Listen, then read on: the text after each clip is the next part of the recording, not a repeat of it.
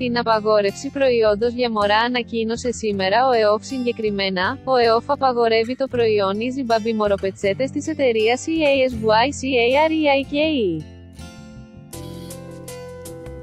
Επίσης, την απαγόρευση διακίνησης και διάθεσης αντισηπτικών μαντιλιών, είχε προβεί τις προηγούμενες ημέρες. Όπως αναφέρεται σε σχετική ανακοίνωση του οργανισμού, το προϊόν παρουσιάζεται επί της συσκευασίας με χαρακτηριστικά που δεν συνάδουν με την χρήση και την κατηγορία του. Ειδικότερα παρουσιάζεται με χαρακτηριστικά βιοκτόνου χωρίς να διαθέτει την απαιτούμενη άδεια από τον ΕΟΦ και όπως τονίζει ο οργανισμός η εταιρεία οφείλει να αποσύρει άμεσα το προϊόν από την αγορά. Μόλις έκλεισα τα 30 και έχω καρκίνο καμπανάκι από τον ΕΟΦ, απαγορεύει δύο αντισηπτικά την απαγόρευση διακίνησης και διάθεσης των διοκτώνων το Talcar αντισηπτικό αλκοολούχο διάλειμμα χεριών και σώματος και το Talcar Antiseptic Disinfectant, αποφάσισε ο Εθνικός Οργανισμός Φαρμάκων, ΕΟΦ. Τα προϊόντα δεν είναι εγκεκριμένα από τον ΕΟΦ επίσης την προσοχή των καταναλωτών εφιστά ο Εθνικός Οργανισμός Φαρμάκων, ΕΟΦ, για το προϊόν Ditonic το οποίο διαφημίζεται και διακινείται μέσω διαδικτύου. Επιπλέον, για το προϊόν το τάλκαρ αντισηπτικό αλκοολούχο διάλειμμα χεριών και σώματος, τα αποτελέσματα των εργαστηριακών ελέγχων, δεν συμφωνούν με την επισήμανση του προϊόντος ως προς την περιεκτικότητα σε εθιλική αλκοόλη, ισοπροπηλική αλκοόλη και συνολικά στις αλκοόλες. Η εταιρεία SD Food IK, καθώς και κάθε άλλη εταιρεία που διακινεί τα συγκεκριμένα προϊόντα, οφείλουν να επικοινωνήσουν άμεσα με τους αποδέκτες τους και να τα αποσύρουν από την αγορά μέσα σε εύλογο χρονικό διάστημα.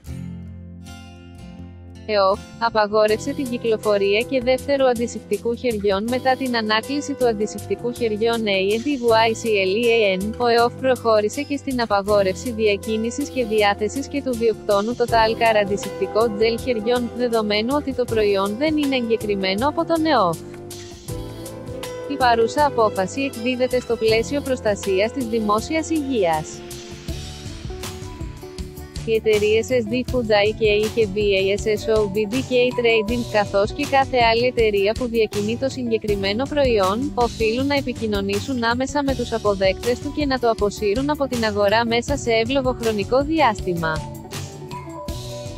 Διαβάστε την επίσημη ανακοίνωση του ΕΟΦ εδώ, έκτακτη ειδοποίηση από τον ΕΟΦ φάρμακο επικίνδυνο για την υγεία Ο Εθνικός Οργανισμός Φαρμάκων, ΕΟΦ, ανακοίνωσε πως ένα φάρμακο που κυκλοφορεί διαδικτυακά μπορεί να είναι επικίνδυνο για την υγεία.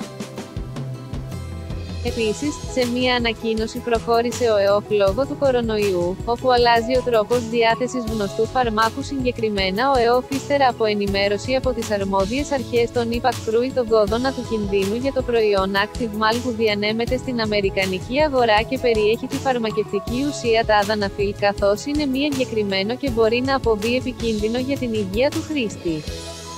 Σύμφωνα με την ίδια ενημέρωση, το προϊόν κυκλοφορεί σαν φάρμακο για τη στιτική δυσλειτουργία. Το προϊόν είναι πιθανό να διακινείται στην Ελλάδα μέσω διαδικτύου. Ο ΕΟΦ εφιστά την προσοχή των καταναλωτών, ώστε σε περίπτωση που έρθουν στην κατοχή τους προϊόντα με τα παραπάνω αναφερθέντα χαρακτηριστικά, να μην τα χρησιμοποιήσουν και να τον ενημερώσουν άμεσα επισημαίνει ότι η αγορά προϊόντων αρμοδιότητάς του από μη αξιόπιστες πηγές, όπως είναι το διαδίκτυο, μπορεί να θέσει σε κίνδυνο την υγεία του καταναλωτή.